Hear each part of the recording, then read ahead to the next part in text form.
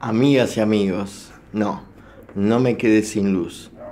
Este video es para recordarles que hoy de noche, tarde, tarde de la noche, estrenaremos Oscura Obsesión, el primer cortometraje del año 2016 de este canal Nuevo Cine Uruguayo.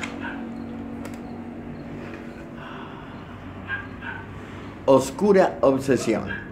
Quien les habla Fernando Moreno, ya llegado al canal para poner en práctica todo lo que es los detalles de edición. Oscura Obsesión, esta noche, en Nuevo Cine Uruguayo Canal.